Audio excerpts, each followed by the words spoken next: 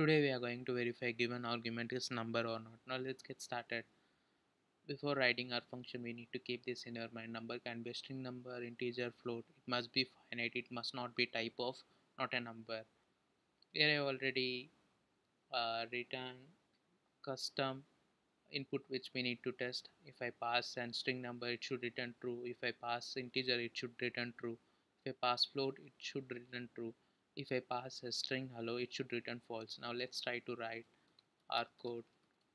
Here I'm going to create this number building function with a single argument num and I want to print the result in terminal. So I'm going to use console.log the number should be finite.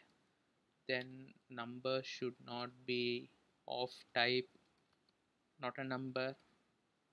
This we need to ensure. And number can be a float that's it.